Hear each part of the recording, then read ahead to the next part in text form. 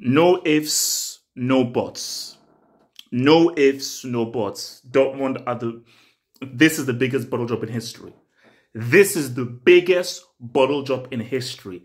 These guys, they have reinvented the name of losers. I want to announce since 2017, the PSG wing, it has been a the fabric of the Brick Academy. It goes down. The come 9 a.m. sharp tomorrow, the Dortmund wing is going to be built. Guys, people say, oh, what about Tottenham? What about this? No, no, no, no. This is not an opinion. This is not up for debate. This is the biggest build up in history. Mainz, they lost four straight. You were at home. You were top of the table. You're at home. All you need is a win. It doesn't matter what Bayern do. All you need is a win. So Musiala's goal wouldn't even mean anything. Musiala's goal would not have meant anything if all you did was win. But here's the thing. You actually played like crap. You didn't deserve to win. Okay, you had a few more chances in the second half. In that first half, you were garbage.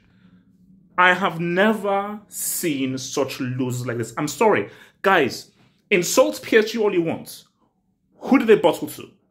MSN, Barcelona, Real Madrid, and Man United. All those teams are bigger and better and have more heritage than mine. Bro, outside of Germany, when you say mines, you think the freaking mine shafts. you're, you're looking at, at, mine shafts or freaking mines that you go over in, in the freaking World War II, World War One. Nobody knows who these guys are. What's Mainz 05? But wait, what the heck? What the, what the heck is freaking 05? Wow. I mean, but you see, I want 20. I want 20 in euro. I need 20 in euro because this league, oh my, this, I mean, bro, Bundesliga, I'm putting into Class A. I'm building a Dortmund wing. Lord in heaven. I mean, I mean, what else do you want to freaking say? And here's the thing, Jude, I get it. You don't want to be injured. I don't want to aggravate an injury before you make your big money move. I get it. All I'm saying though is you are Dortmund's best player and they needed you out there.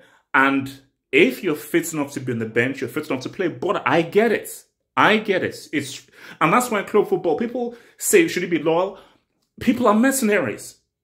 They're mercenaries because really, really, if you're fit enough to be on the bench, you come in in the second half because your team needs you.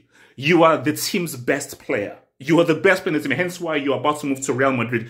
They freaking need you for a freaking title. And you don't play a single minutes? I get it. You don't want to aggravate an injury. I get it. But I just think that's messed up. I just think that's messed up. But it is what it is you, you, you, do what you do. It's a mercenary. And look, what if.